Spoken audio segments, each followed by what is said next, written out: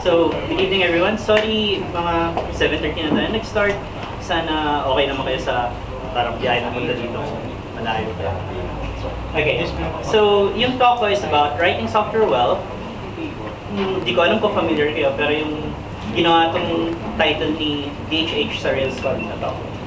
So, salamat sa DigitalOcean para sa event, sa sponsor ng event. Okay. Ah, si Jaggy Gauran, kung niyo ako sundan sa GitHub, Jaggy, or sa Twitter, Jaggy Gauran. Ah, nag-work ako sa Statamic, where nag-work ako sa Statamic, CMS siya, na flat file, na, oh, hindi ko alam kung narinig yun na yun. Ah, natrabaho, na hawakan ko na rin yung code base ng Laravel Forge. Okay. Ah, sino may alam ng Laravel Forge dito? Okay. So, ano na siya, provisioning ng servers na ginawa ni Taylor para sa Laravel, ah, Laravel users. Nag-work din ako sa Nutrifox, sa isang project. Isa silang ano, yung mga nutrition labels, sila yung para siyang software as a service na nagpo-provide ng nutrition labels para sa mga food websites. And ako yung co-founder ng Artisan Studio, isang local na development or design studio sa Philippines. Okay. Introductions out of the way. Uh, mag mag-show of hands muna tayo dito. So dahil April 25 na, sino mas gustong nasa Avengers?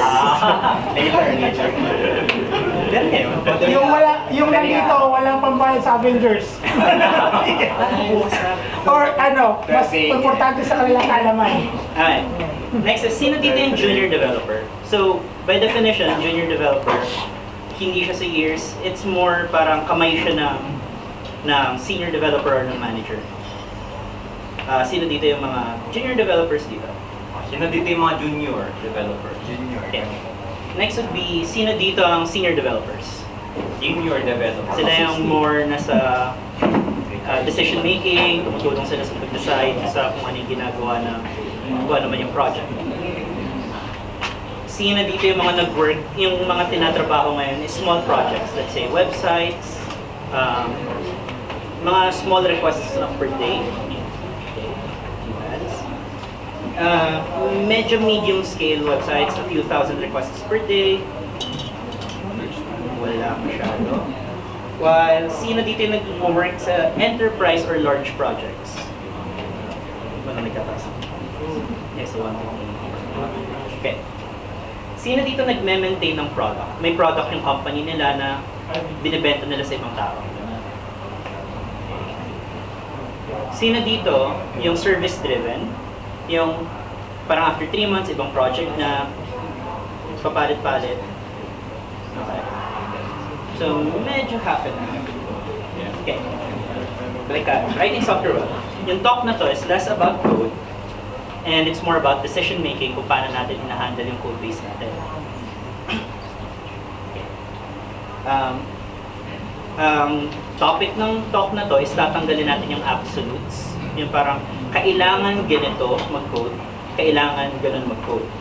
Kasi halos lahat kung saan tayo pumunta online, may isang post na magsasabi kailangan mag-code ng ganito at may palagi may contrasting na kunwari, kailangan OOP while merong gagawa ng isa pang post na kailangan hindi, kailangan functional programming.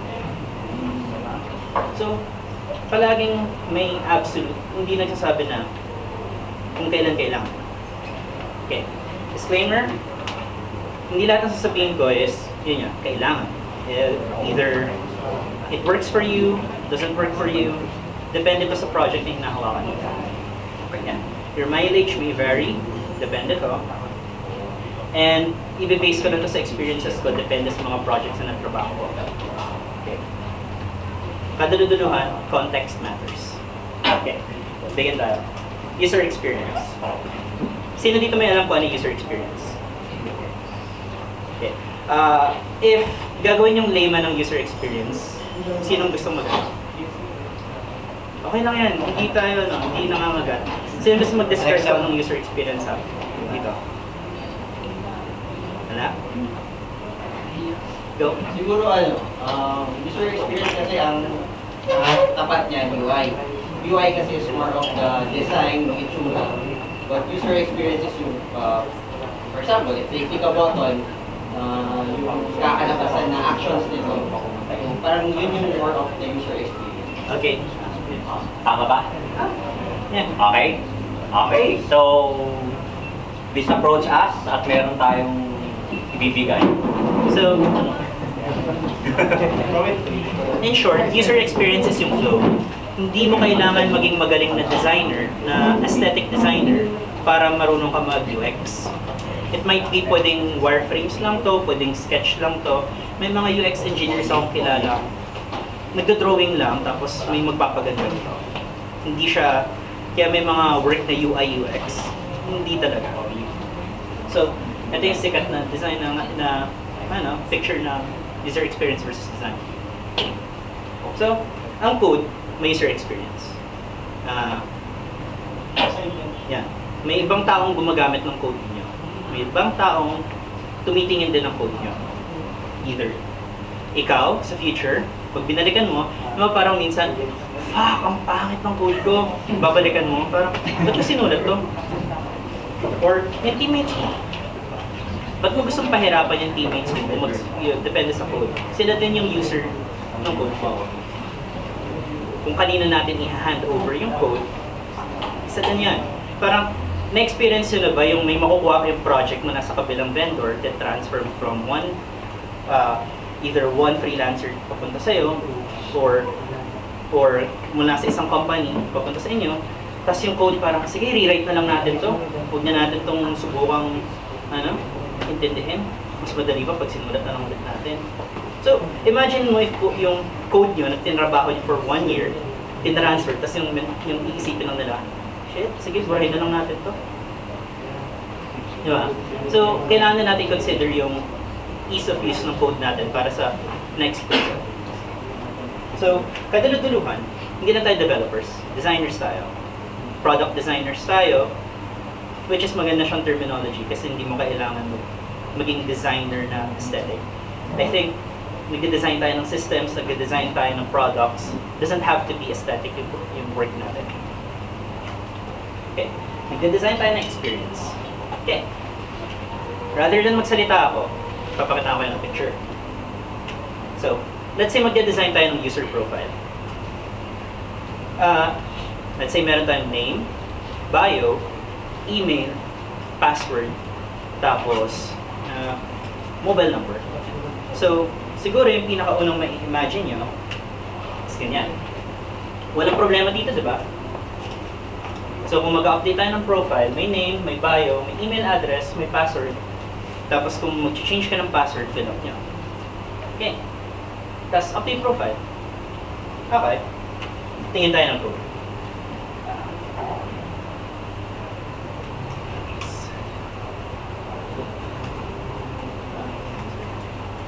So, profile. Okay. So, minsan makaka-inherit kayo ng ganitong klaseng code. Ah, kita niyo ba? Kita kaya pa?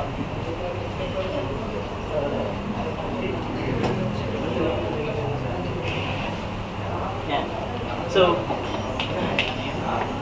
pag nag-update kayo ng, ng profile, update natin yung name, update natin yung bio. So, sa design na to, sa design na to, may, as developers, iisipin natin, okay lang to. Tama? Wala, walang, walang problem sa design na yan, walang problem sa scaling ng code na yan. Pero, pag nag-start na tayo mag-implement ng code, doon natin marirealize yung pitfalls. Pero, gusto natin isipin na okay lang yan. And dyan, tayo matututo magsulat ng code ng maayos. Okay, for example, paano pag ayaw natin magpalit ng password? Di ba, leave password lang? Ginawa na natin yan, di ba? Pero pag may password, doon natin papalitan. Doon tayo mag-validate. Or, pag nag-change ng email address, kailangan mag-send ng verification email papunta doon sa bagong email address. So, ito. If nag-change yung email, yung sinend nating email, doon tayo magpapadala ng confirmation email. Okay, simple. Pag nag-change ng mobile, sabihin natin two-factor authentication.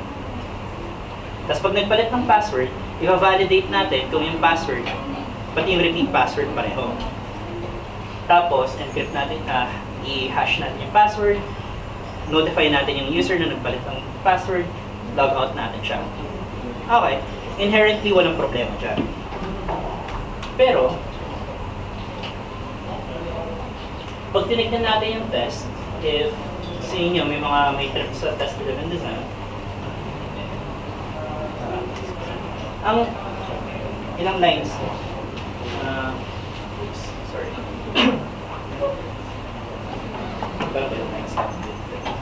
Inherently, mahaba yung test nyo. Meron kayong specific dyan na pag nagpalit yung email address, i-make sure natin na valid yung email address. Parang ang dami nating if-else na sinasayawan. So, paano natin ibabalik sa ano sa sa user experience? So, ang solution dito is simple lang. Ganyan.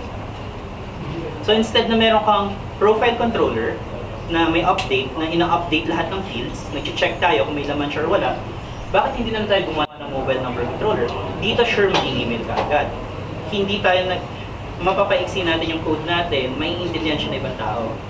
Kung may dedicated siyang function na lang, mas madali siyang i-maintain para sa ibang tao. So, eto, kasi, balik tayo sa code, may mga example na ako. So, update, profile, email controller. Kunin natin yung email, update natin yung email, send confirmation email. Wala kang if-else, yung code mo, pag hinawakan ng ibang tao, madali. Wala kang masyadong minemaintain na yung crap index ng code mo, hindi mabigat. Okay. Tapos, if ever may kailangan tayong bagong feature sa controller natin, dito lang. Hindi natin isasalpak dun, hindi natin papahabain yung code natin dun sa update controller. So, pwedeng yung profile controller natin. Kung may dedicated controller tayo sa password, pwede yung buburahin na to, yung buburahin na to, buburahin na to. Ito na lang yung magiging na natin. Ah, update natin ng profile.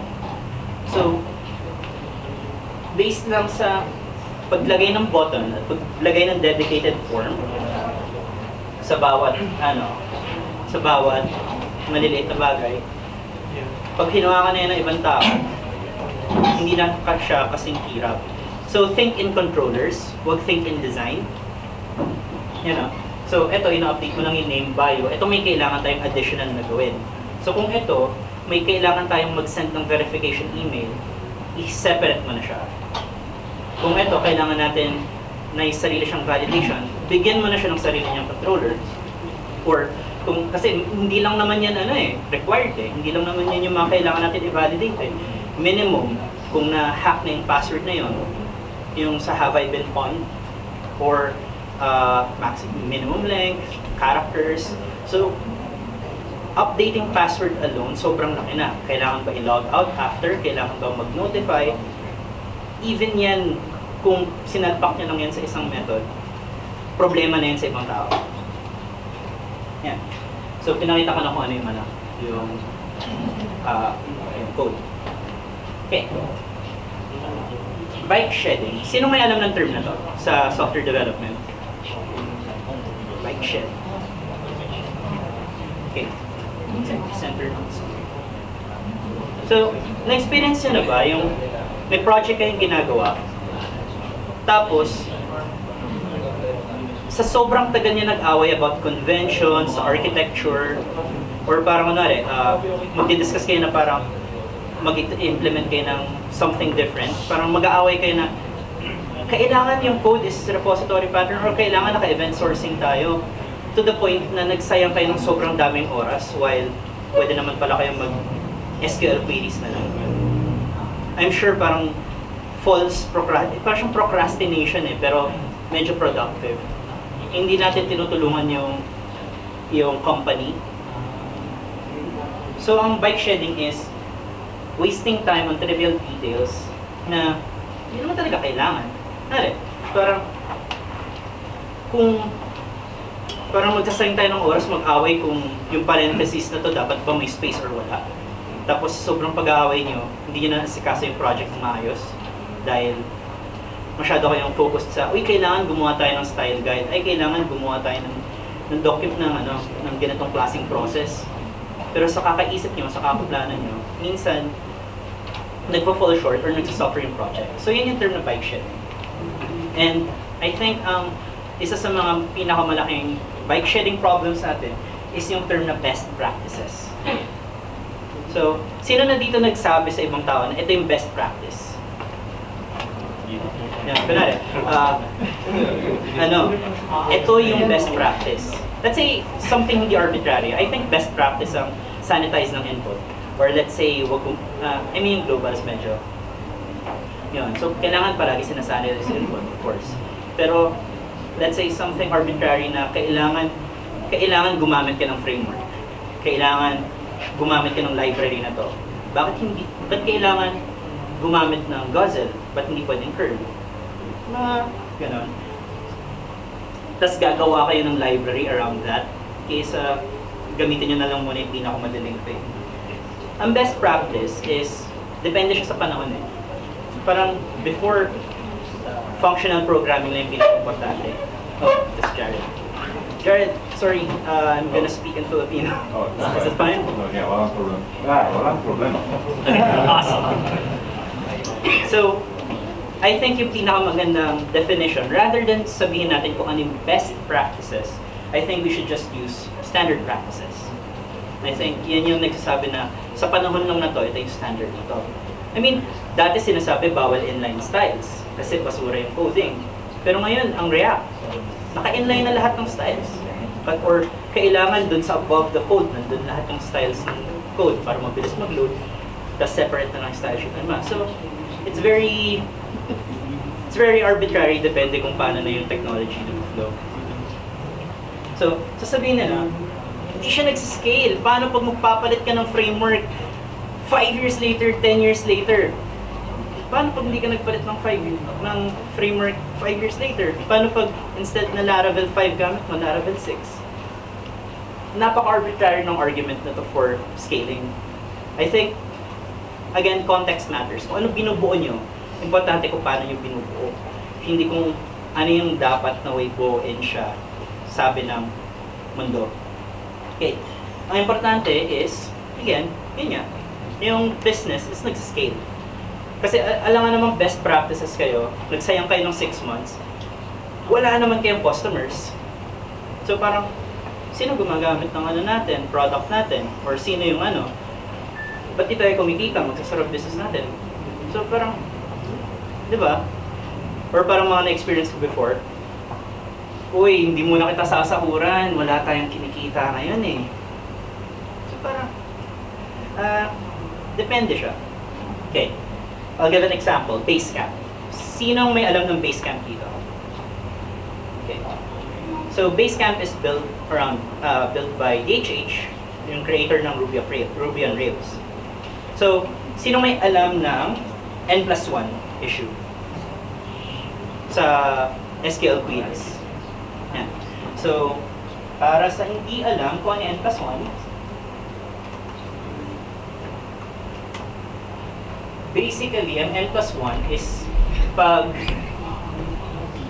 pag hindi kayo nag, ano, SQL query na pag hindi nyo pin-reload, let's say may 10 users tayo, tapos nag-loop tayo sa 10 users na yun, and those 10 users have books, uh, that's additional queries. So kung may 10 users ka, may 10 additional queries ka, rather than having one or two queries. Tapos kung yung books na yun may reviews, then exponential yon. So, sinasabi ng colleges, N plus 1 is bad. N plus 1 is inefficient. And N plus 1 is a horrible thing in programming. You have to optimize every single thing. You have to eager load. You have to lazy load your relationships. Oops. Sorry.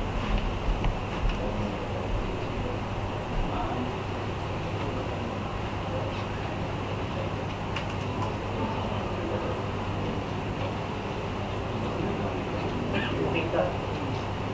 Wait lang. Sorry. Eh, wala na. So, uh, problem daw siya. Yun yung, sasabi, yun yung sinasabi sa colleges, yun yung sinasabi sa mga computer science. Pero masamang bagay ba talaga ang N plus 1? So, sa Basecamp, ginamit nila ang N plus 1 as an issue, uh, uh, as a feature. Ang Basecamp receives ano, more than millions of requests per day based sa automated email delivery, ganyan-ganyan. Ginagamit nila sa feature. Pero paano? Tinitreat nila yon ng bawat query, bawat single query, kunwari, let's say may user ka, kina-cache nila yon. And anything sa larger, larger view, so para siyang ano, matryosh ka na caching. So sa cache mo, meron pang sa loob ng cache, meron pa sa loob ng cache. Hindi ko sasabing gawin nyo. Ang point ko is, hindi siya inherently bad as long as alam nyo kung paano gamitin. Which is yun yung sinasabi sa atin palagi, ito yung masama, ito yung tama.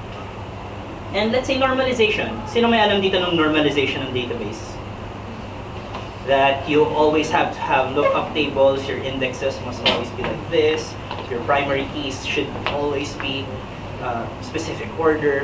Pero nag-work na tayo sa projects na kailangan natin ng caching server, di ba? Or let's say, isa-separate natin yung database sa kabilang server. Or instead na search natin, local, gagamit tayo ng Algolia. Doesn't, so ang normalization minsan, minsan nag-denormalize na tayo ng table eh. Nag- Naghahalo na tayo ng dalawang table rather than keep them uh, apart. Parang, parang sasabihin nila, uy, kailangan alam mo yung pinakamahabang first name sa mundo para alam mo kung ilan yung car limit na ilalagay mo sa first name. Di ba? Kasi yung byte size is pinifill up na pag car, pero pag varchar, mas matagal yung query. Pero, talaga? Ganun ba talaga? Yan. You must normalize your database. Hindi talaga. Tara, mag mag-queuing tayo, rapid MQ. Or, kailangan mo yung optimize yung queries mo. So, ililipat natin yung searching sa Algolia. Marami ng third-party services na natutulungan tayo padali yung work eh. Pero may tendency tayo, dahil developers tayo, dahil gumagawa tayo, dahil builders tayo, gusto natin, ay, kaya ko gawin to. Pero pagdating sa implementation, instead of 3 days, 1 month pala yung side project na to. Yung feature na to na hindi pala dapat ginagawa. Okay. So yan, people or expensive. So, uh, meron na ba dito ano, company na naka-experience or team na naka-experience na gusto ko agad na lang best practices sa start ng project na to? Meron bang gano'n? Naka-experience na? Okay. So may mga companies na gano'n na parang, or may mga teams na gusto nila, domain-driven design, test-driven design. Parang kung test mo later, sure, okay lang. Hindi kailangan test-driven first. It's fine. Walang mamamatay. Yan. Nari, let's say mag-hire tayo ng expert sa algorithm. Ah, let's say gagawa tayo ng company. Mag-hire tayo ng expert sa algorithm para lahat ng queries natin super optimized. Rather than gamitin yung Eloquent, gagamitin natin yung EB statement ng Laravel. So, magkano siya? Mahal. Super niche ng work niya eh. Computer science major yan. Marunong yan ma kung ano mang numbers na hindi ko maintindihan. So, let's say magdadagdag tayo ng bagong tao. May intindihan ba kaagad nila yon? Nakahawak na kayo ng code base na parang ayaw niyong hawakan, di ba? Tapos, may mag-hire na lang tayo ng tao na, uy, siya na lang maglilinis na to. Yan. Ha? Kaya lang, specifically nakarelate. So, pero bakit di na lang natin simplehan yung code natin? Ba't hindi na lang user all? User where? Ba't kailangan gumawa tayo ng sobrang complex na algorithm para sa to-do list natin, sa inventory system natin? Tapos, mag-write na lang tayo ng simple code. Ba't hindi na lang, ah, wala yung ano ko. So, maps. Ba't di na lang tayo, ba't di na lang natin gamitin yung Eloquent? Ba't di na lang tayo mag-write, ba't, iwa- ba't ayaw na lang natin iwasan yung repo pattern para mag-hire ng senior engineer? Tapos pag in-onboard natin siya, one month, yung training niya is two weeks. Basta alam niya yung Laravel documentation, kaya niya nabasahin yung code. And pag sinabing mabagal, rather than i-optimize natin yung project natin, lakayan na lang natin yung server. Parang, magkano, magkano, ano, magkano developer? Isipin niyo na lang yung number sa isip niyo. Ayaw magtapon ng number. So, So paano pag ano, paano pag nag, instead na mag-hire tayo ng developer na ititrain pa natin, na tutulungan pa natin kung asshole ba siya or hindi, masaya ba siyang kausap, or parang hindi ba siya, hindi niya maintindihan yung code base natin. Gumawa na tayo ng simpleng code, tapos kung mabagal, lakasan na lang natin yung server. Ang pagdagdag ng server, ng 5,000 pesos per month versus sa salary ng tao. So, parang meron tayong inherent na gusto nating pagandahin yung code. Pero dahil doon, nagsasuffer ang ibang tao. I think yun yung pinakailangan nating iwasan na mag magtapal pa ng tapal ng technical debt na hindi kaya i-handle ng team. Of course, kung kaya ng team ninyo, yung pattern na yun, then sure, go ahead. Kung lahat kayo trained or may workflow na kayo. Pero kung lahat kayo, ah, ano, nagsisimula pa lang or maliit yung budget, then write simple code.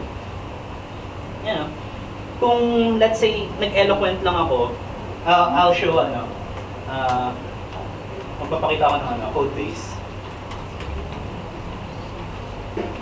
Uh, let's say, Ooh, let's say ano, yung yung ginawa kong Instagram vlogger.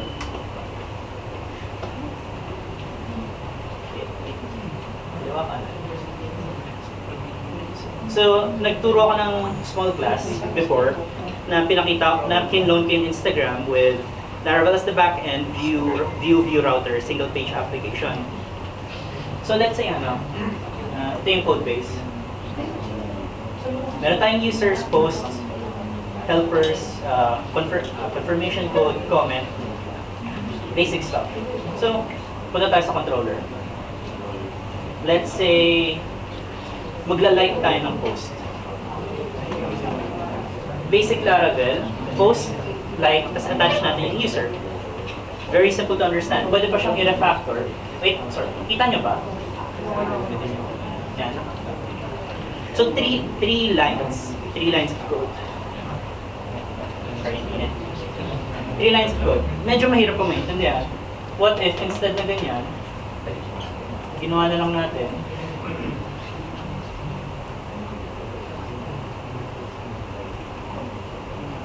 yan.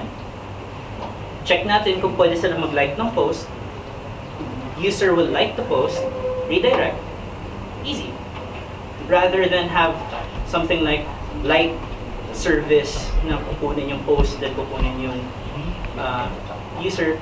Tapos, pero very ano lang to eh, lookup table lang to eh, or uh, pivot table. Or dito instead i-refactor sa model. Unlike post. There. So, kung kung kung i-onboard ko ngayon, kayo ngayon sa project na to, alam niyo na kaagad kung ano yung ginagawa.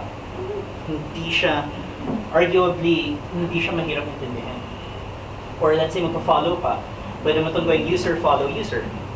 Uh, current user follow yung yung sining tinitignan mong profile. Or pag ano, unfollow mo, inverse lang. Uh, let's say sa posts, uh, ano ba? Comments. Posts, mag-create tayo ng comment, sino yung current user, then what the message is.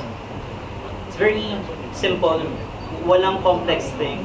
Pwede tayo maglagay dito ng ano, let's say, post, notify, owner, na nilike siya.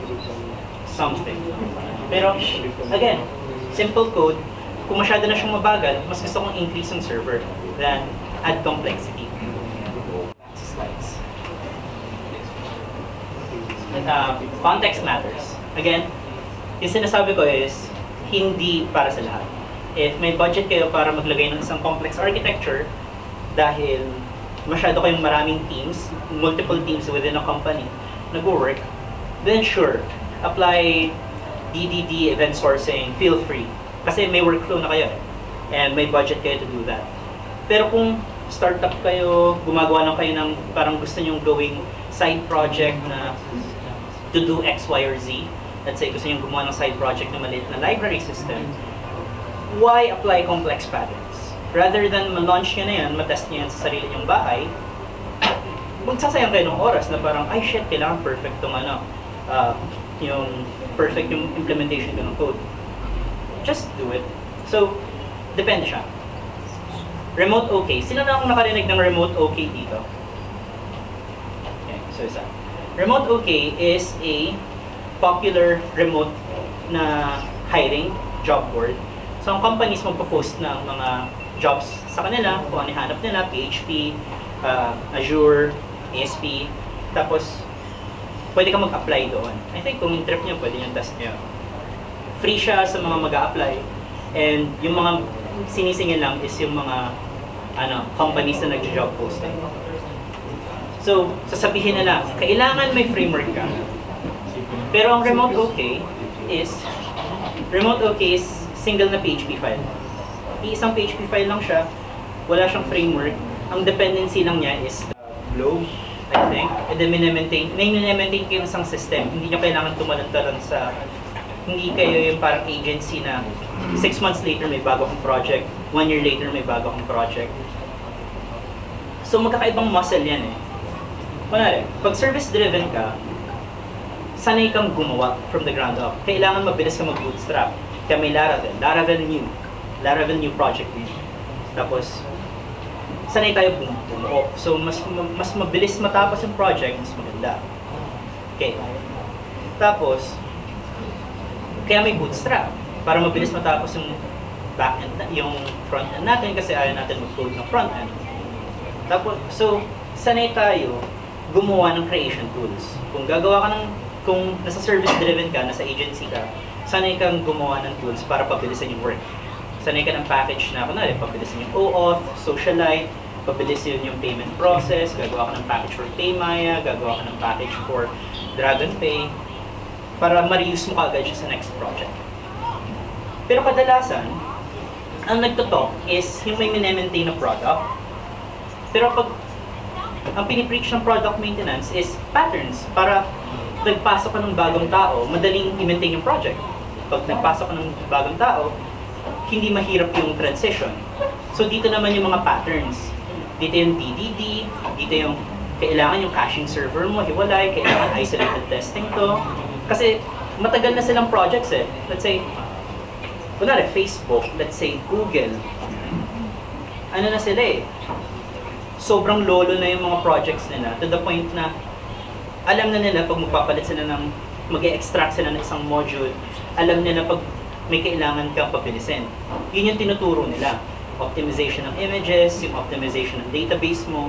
Kasi yun lang tatrabahuin nila hanggang mamatay yung project eh, or yung mamatay yung Google. So, yun yung ano natin. Yun yung problem. Context minsan, ang pinupuntahan natin to is yung mga sikat ng conferences or yung mga pinapanood natin sa Laravel, uh, La, uh, LaraCon, DrupalCamp, or yung mga papanoorin natin, sanay na sila mag-maintain ng projects. So, meron silang projects na minemaintain na sobrang tagal na, and tuturo nila is kung paano pabilisin, paano makapag-cut ng cost, and kung paano gumanda yung ano, system nyo. Pero kina ang problem is kinakausap niya is karamihan sa atin eh. Tayo yung gusto kailangan mag-move on sa next project sa ano after six months eh. So na nalalagay sa ano natin sa pat sa ano natin sa community natin na dahil ginagawa nila is naka-repo, naka-interface, naka ganito yung mga patterns, DDD, naka-event sourcing. Feeling natin, pag gagawa tayo ng next project, let's say CMS, kailangan ganun din yung practices natin. So, yan yan. Context matters. Na hindi nyo kailangan sundin yun. Pwedeng, mag, pwede nyo dahan-dahang i-refactor yan. So, narito. Okay. Uh,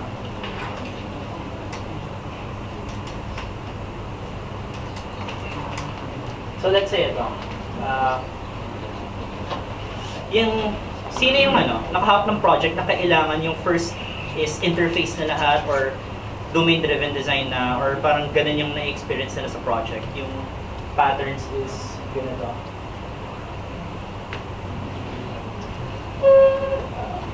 Sino yung ano, parang nakahawak na ng project na may pattern na kailangan gawin pero hindi nyo alam kung bakit. Yan. So, parang sasabihin nila, Important yan kasi ganyan umaandar yung mundo. Kailangan, pag nag-start na tayo ng project, kailangan ganyan natin siyang gawin. Kailangan kasi pag magte-testing tayo, kailangan isolated lahat, kailangan pag magte kailangan pag nagpalit tayo ng framework, yung domain natin umaandar pa rin. So, if it, hindi sa lahat, ba? So, let's say dito tayo sa ano, sa pinakita ko kanina, HTTP controllers, uh, profile controller. So let's say gagawin na natin itong repository pattern, magdadagdag na lang tayo. Hindi naman mahirap magdagdag eh, ang mahirap magbawas sa code base. Di ba parang, na-experience na mas, parang mas nakakatakot magbura ng code na hindi sa inyo. Pero pag kunwari, magdadagdag kayo ng wrapper code or mag inject kayo ng bagong dependency, fine, sure. So, kunwari complex na to, let's say meron na tayong SMS, meron na tayong 2FA, meron na tayong privacy, GDPR, na ano, na pinoconsider, then sure, magdagdag tayo ng ano, public, public, function, construct,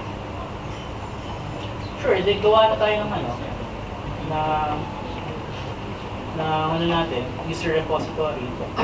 Tapos, yun na lang.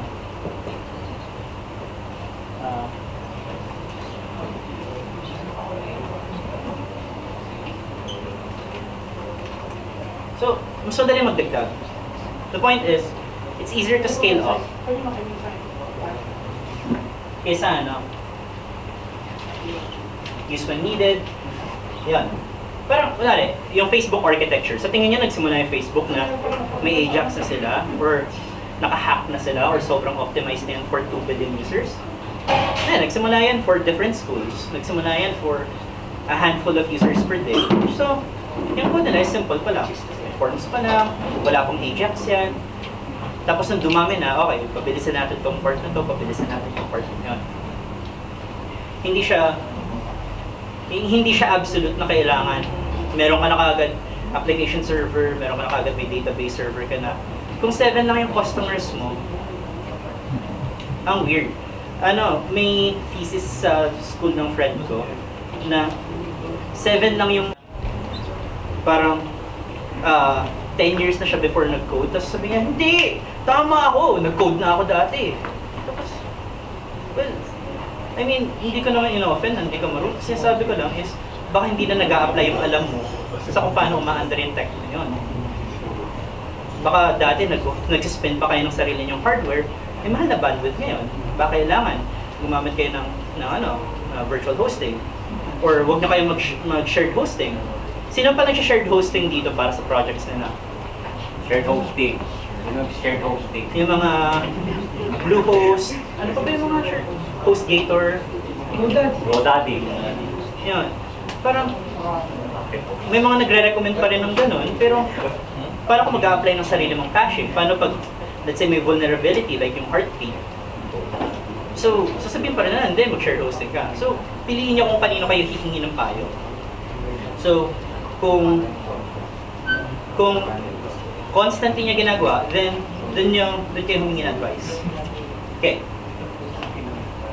Sino may alam nito? Ay, narinig ko yan. Ano yan? Sino yan? Yung- Narinig ko may bumulong eh. Ah, Yes. Yun eh. Sino yan? Ayan, Monty Python. Ha? Monty Python. Okay, so meron tayong tatanggaping token. Digital token. Okay. Sige, please come forward. Intro, intro TV ka lang. So, okay. Patapusin mo natin ito. So, Monty Python and the Holy Grail is yan yung parang reference ng halos lahat ng comedians pag nag-start sila. Ah, isa siyang British film na ang ganda ng level ng comedy nila. Sobrang self-aware nila. Yan, Monty Python and the Holy Grail. So. Okay. So, yung story here is si John Cleese, pati yung isa niyang co-actor, may, may sinushoot silang scene. Ayaw mag-land ng joke. Parang ang boy, parang walang soul, walang, hindi siya nakakatawa. And parang hindi na, naiirita na sila after 10, 20 takes. parang hindi pa rin nila makuha yung scene ng maayos. So, nagpahinga sila, tapos nag-usap-usap lang sila, nagpa-consult sila sa ibang tao, tapos parang naramdaman na nila kung ano yung dapat nilang gawing joke. Isang isang cut, isang scene, isang take, nakuha nila yung scene. Okay, edi masaya na sila sa joke. Ayan. The next day, bumalik siya sa editing room. Tapos kinausap niya editor, parang, uy, patingin naman ng scene na ano, yung nahirapan kami kahapon. Ba't hindi yun yung ginamit mong cut? Bakit hindi yung, yung may magandang joke yung ginamit yung cut or yung maganda yung delivery? Sabi ng editor, eh, may pumasok sa shot. May pumasok na tao sa shot. So, tingin siya. Tingin siya ng tingin. Paulit-ulit niya nire-replay. Pagsilip niya, wala naman. Nung pinakita, may quote lang sa edge ng, parang quote ng isang tao na, na nadamay sa scene. Tapos ayaw niyang gamitin. So doon niya napagtanto na yung editor, takot siya mahusgahan ng ibang editor. Pero dahil doon, nawala yung soul ng scene. So parang mangyari, tayo bilang developers, takot tayo mahusgahan ibang developer eh. Parang kailangan yung responsiveness ng site natin fluid. Or kailangan yung yung code natin PSR2 yung style guide. Pero sino ba talagang magmumurahin ba tayo pag pag may isang breakpoint na ano, may may maling typography sa breakpoint na yun. So yun yung thing na kailangan pag ano, kailangan priority pa rin natin is maayos pa rin yung work natin para doon sa projects na ginagawa natin, hindi yung parang takot tayo mas ng ibang developers. I think fair assessment yun na hindi kailangan perfect yung code base natin. Siguro merong dumi here and there, pero hindi yung super perfect to the point na mahirap na rin hawakan ng ibang tao. Or okay lang na may private method siya na may five lines na magulo, or merong isang file na magulo, pero wala namang mamamatay pag may mali. Yeah. So, uh, basically, yun yung talk ko. Meron bang ano? May questions if ever? Oh, any questions? Yan. Super, ano siya, soft skills lang talaga, decision making. Kasi, I think yung difference ng junior developer and yung senior developer is not knowing how to ask why. May mga nakakausap akong company owners na nagagalit na minsan sa developers nila kasi oo lang ng oo. Hindi na nasasabi na parang, uh, parang kunwari, uh, gawin mo to. Hindi sabihin, eh may feature pa tayong tinatapos dito, kung ginawa ko to, yung timeline na to, medyo magkakaproblema tayo. Or may tendency tayong maging bida, na kunwari, may feature tayo na gagawin for 2 weeks. In-estimate natin for 2 weeks. Tapos, nalaman natin 1 month pala siya.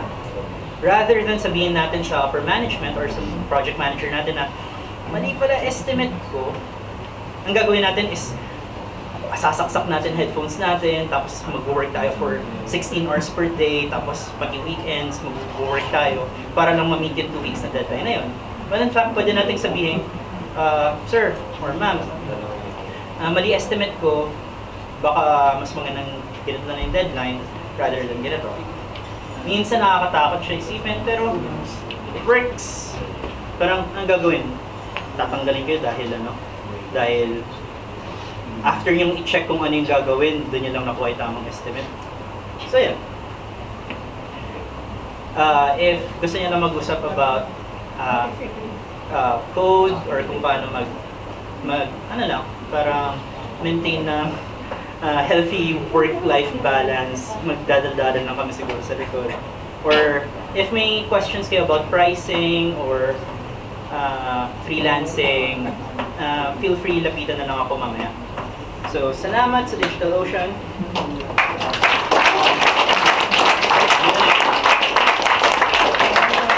Uh, I'm open again for mentorships. Hindi lahat masasagot ko, sorry. And pwede kayo mag-email lang ng questions. Let's say may code base kayong, may maliit na part lang ng code base na hindi ko alam kung anong gagawin. Baka gusto niyo mag-email or mag-Skype call. Feel free. Ito yung email address ko for any questions. Gusto lang yung isang buong, ano lang, isang buong project na. Sambong project. Oh. So parang kunwari, let's say may part kayo ng code na feeling niyo madumi,